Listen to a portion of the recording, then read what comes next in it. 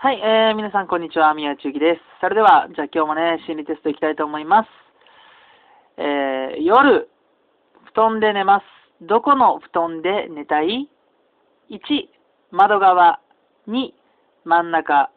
3、壁側。ということで、じゃあ僕はですね、えー、真ん中、2、真ん中でいきたいと思います。それではこの答えは、えー、僕のオフィシャルブログをご覧になってください。またねー